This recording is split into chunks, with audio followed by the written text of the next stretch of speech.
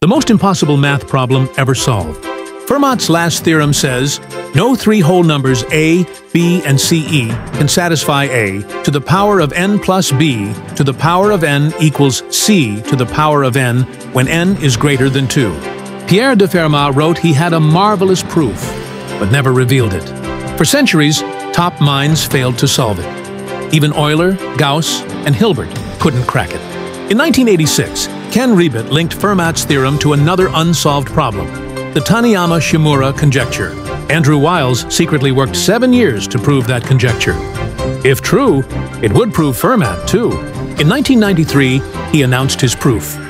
But a fatal error was found in one key lemma. With his former student Richard Taylor, Wiles fixed the gap in just over a year.